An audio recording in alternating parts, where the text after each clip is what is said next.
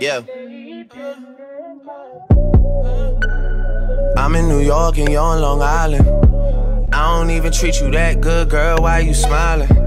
It's three in the morning. Why you driving?